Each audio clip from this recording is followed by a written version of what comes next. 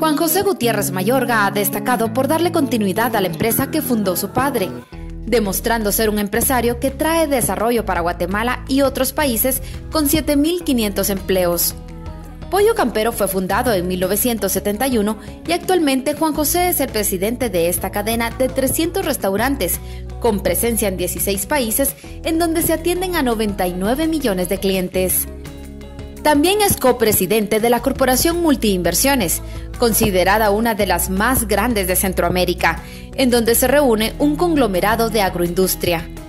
Por su experiencia y desempeño empresarial, lo nominaron como guatemalteco ilustre de Universales. Para este empresario, la responsabilidad social ha sido de ayudar en iniciativas sociales y apoyar la educación escolar.